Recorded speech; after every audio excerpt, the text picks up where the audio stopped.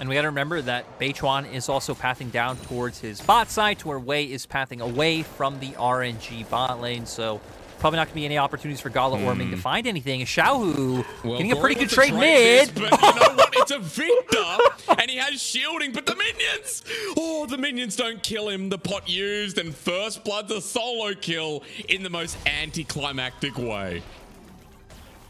Did you come into a game today expecting for a solo kill to happen between Corki and Viktor level 2?